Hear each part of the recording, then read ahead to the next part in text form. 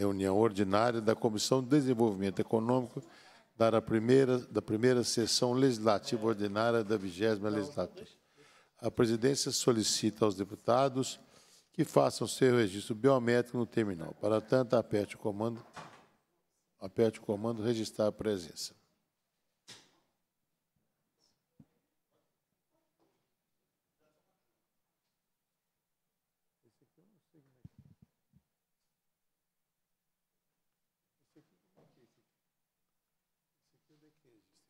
Põe, põe aqui, certo aí.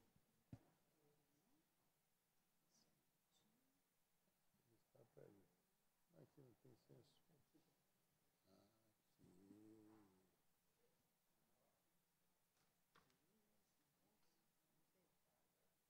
É, mas o meu, não, o meu aqui não funciona. A presidência, nos termos do parágrafo 1 do artigo 122 do Regimento Interno, dispensa a leitura da reunião anterior, considera aprovada e solicita sua subscrição. Essa reunião se destina a receber, discutir e votar proposições da comissão. A presidência informa o recebimento das seguintes correspondências. E-mail recebido através do Fale com as comissões da senhora Djalma Dave, pesquisadora, comunicando sua descoberta sobre processamento do grafeno.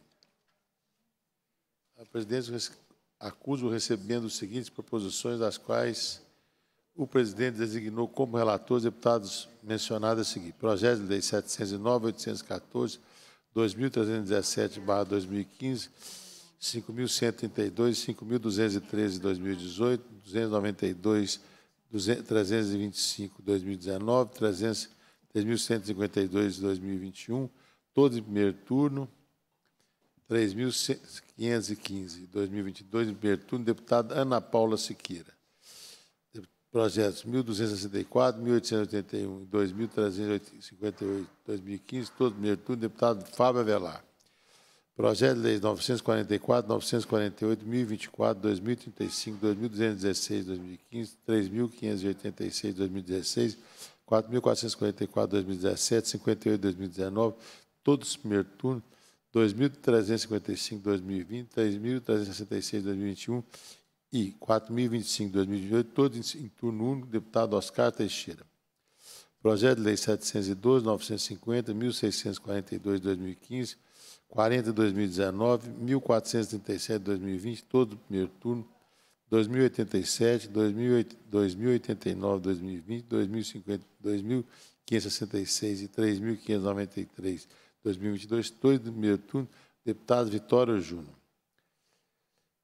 Projeto de Lei 744, 896, 1055, 1327, 1353, 1423, 1855, 2513, 3102 de 2015, 3077 de 2021, todos em primeiro turno, avoco a relatoria.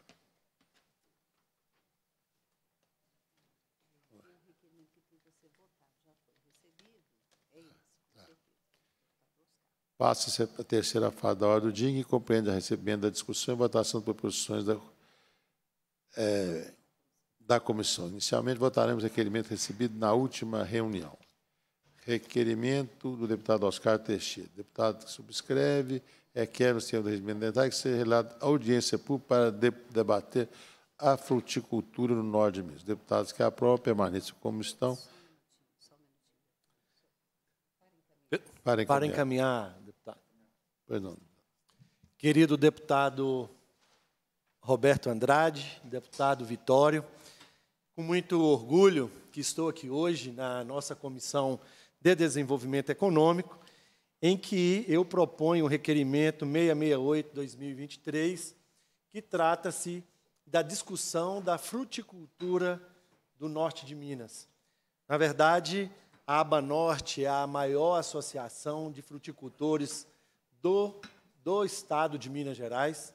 E eu, Oscar, como deputado, representando a nossa região do extremo norte, norte de Minas, a gente quer discutir a fruticultura no estado. Que forma temos de fazer com que a fruticultura fique protegida? Que forma que juntos possamos organizar melhor e dar vez e voz para os nossos fruticultores. Dessa vez, eu quero muito, além de debater a fruticultura, outras ações saem delas. Para vocês terem ideia, desde a minha pré-campanha, defendi e defendo a criação do centro de abastecimento em Janaúba. Desde início dessa minha pré-campanha, eu enxerguei que Janaúba é uma cidade polarizada, presidente. Ela, inclusive, nós temos por volta de 80 mil habitantes, polarizam mais de 17 outros municípios do extremo norte, mas ainda temos o, a região do Vale de São Francisco, a região do Alto Rio Pardo, que são grandes produtores, fruticultores, que produzem muito e que precisam valorizar o seu produto. De que forma eu, Oscar, encontrei para que a gente possa promover isso?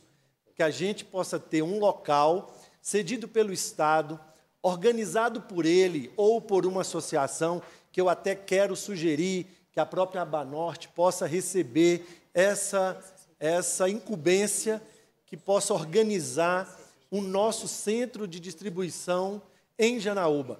Para vocês terem uma ideia, nós produzimos tomate, produzimos frutas, produzimos verduras, diversos produtos todos eles vêm para Cianorte, em Belo Horizonte, e depois volta para nós consumirmos no extremo norte.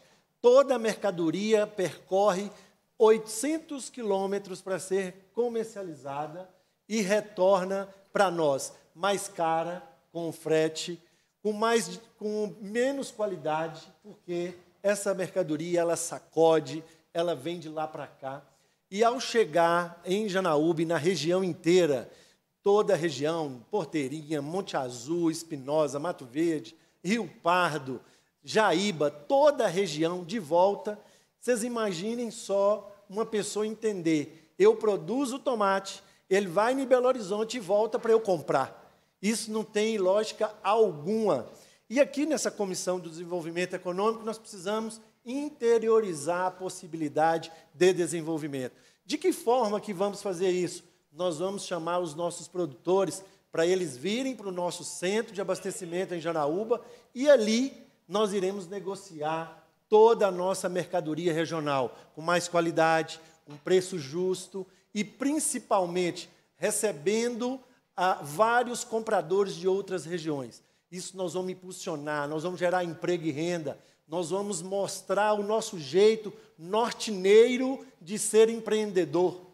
E isso a gente deve a todo um trabalho, uma cadeia produtiva que temos. Temos destacado em todo o Estado, em todo o nosso trabalho. E agora nós queremos ter o reconhecimento disso. De que forma? Vamos sim criar o nosso centro. Já coloquei à disposição da CEAPA, já discuti na Secretaria de Planejamento a disponibilidade de um terreno, dentro também da SEAPA, que também tem vários prédios, a gente fica entendendo que a EPAMIG pode sim, lá na região de Janaúba, receber esse nosso centro de abastecimento, e eu, Oscar, estou aqui pronto, minha região, para poder colocar uma emenda, para eu poder também investir, defender e ajudar a organizar esse nosso sonho e, principalmente, reconhecimento. É o que nós mais precisamos. Ao longo da nossa história, faltou para a gente o reconhecimento, a valorização devida, mas agora, representando vocês, eu estou imbuído nessa missão. E vamos contar, irei trabalhar com toda a força, todas, os, todas as associações, todas as pessoas e organizações, para que a gente possa garantir esse nosso centro de distribuição em Janaúba, valorizando os fruticultores. Muito obrigado, presidente, pela palavra e estou aqui esperançoso que o nosso requerimento será aprovado aqui na comissão. Em votação, requerimento. Os deputados que aprovam permaneçam como se encontram. Aprovado. A presidência recebe o seguinte requerimento para posterior aprovação. Requerimento do deputado Roberto Andrade, deputado que subscreve, é, que seja seja realizada visita à Associação Comercial e Empresarial de Minas, ACM, da CM Minas, no município de Belo Horizonte, para ouvir e conhecer as demandas do setor. Do setor.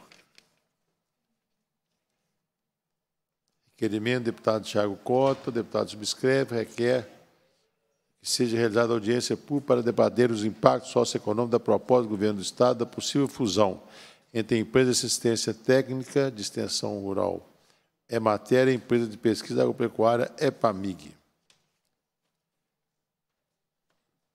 Do deputado Vitório Júnior, Roberto Andrade, Ana Paula Siqueira, deputado que subscreve, requer que seja realizada visita à Fundação João Pinheiro, no município de Belo Horizonte, para conhecer as pesquisas e publicação científica relacionada ao desenvolvimento econômico, visando aprimorar os trabalhos dessa comissão. Pela ordem, senhor presidente. Pois não, deputado. Gostaria de solicitar a Vossa Excelência a entrada desse requerimento à mesa e votação ainda hoje. Pois não, deputado. Devido ao pedido do deputado, né, que deve ter urgência desse pedido, vamos colocar então em votação. Em votação o requerimento. Deputados que aprovam, permaneçam como estão. Aprovado. Indago os deputados se há alguma matéria para ser apresentada nessa fase.